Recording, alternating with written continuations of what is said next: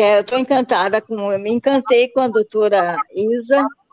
Após, eu vou contar um pouco da minha história, que um pouco antes de conhecê-la, eu tinha passado por momentos muito difíceis. Eu tinha sofrido um acidente, um atropelamento, e fraturei a clavícula, braço, bacia, e foi muito difícil. E daí a minha mãe, eu cuidava da minha mãe, com 90 anos, e ela tava, já estava bem debilitada, tudo, mas ela se assustou muito com o meu, meu atropelamento e ela acabou falecendo. E foi muito difícil, claro que eu sabia que eu, eu sentia que a minha mãe já ia, tudo, mas foi difícil a perda, né? E daí comecei a orar, pedir para Deus para me mandar alguma coisa, porque eu sou farmacêutica e terapeuta floral e eu queria voltar a trabalhar na minha área, que fiquei bastante tempo afastada, né? E pedindo para Deus me mandar alguma coisa, e olhando, procurando na, na internet, YouTube, eu, não, eu vejo mais o YouTube, e achei, encontrei a doutora anunciando, falando sobre fitoterapia, que eu sempre tive o sonho, como farmacêutica, eu queria continuar fazendo fitoterapia. Só que na época não tinha nada assim para estudar, né, direto aqui no Brasil. E eu, quando eu conheci, daí eu fui, tive farmácia de manipulação, trabalhei no hospital, trabalhei outras coisas. E por fim eu conheci os florais de bar através da minha farmácia, né? E me especializei em florais de bar, achei super interessante, porque trabalha com a parte emocional a, no, na doença, né? Se você trabalha emocionalmente. E mas eu também pensava que tinha que ter uma parte física para tratar, né? A doença que vier, que vier do emocional, mas precisava e a fitoterapia era o meu sonho.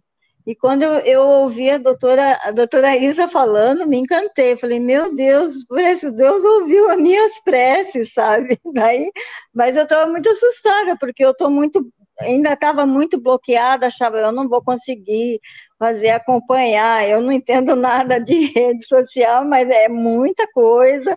Mas eu tô ainda, tô indo, né? Tô, tô tirando porque é muito, tá muito bloqueada, sabe? Mas eu, eu sinto que eu vou deslanchar mais, né, doutora? Com certeza. Mas é um método maravilhoso, tem tudo a ver com o que eu sempre busquei, essa parte epigenética maravilhosa, porque é a parte integra, integrativa do. Porque o, o, você vê o paciente como um todo, né? O indivíduo, né? Que você é aquela coisa da mente, espírito e corpo com emoção, né? A alma junto, né? Então tá tudo junto e a doença vem de tudo, né? Então, mas ela se manifesta no físico, né? Mas eu achei assim que o método da doutora é encantador. Eu acho que tem tudo a ver com Deus, porque a senhora é uma pessoa incrível, que busca muito a Deus. Eu acho maravilhoso começar toda, todo o ensinamento orando, porque é aí que a gente vem mesmo, que Deus abençoando. E adorei fazer parte dessa equipe, que era uma dessa família maravilhosa, que todos têm mesmo um espírito uníssono, né? Todos pensando em buscar saúde e ajudar as pessoas e assim, claro que tem o lado financeiro, né, que ajuda, mas é uma consequência. Todo mundo busca, mas é uma busca assim que vem do, do da continuidade de um bom trabalho, de, de ver as pessoas felizes, porque se sentiu bem, bem tratada, né, e, e sendo levando saúde que isso é, eu acho que o lema do farmacêutico é esse, né? Não é levar doença, né? é levar saúde, né? Então, eu estou muito feliz, muito satisfeita, feliz mesmo, tá? Por tudo.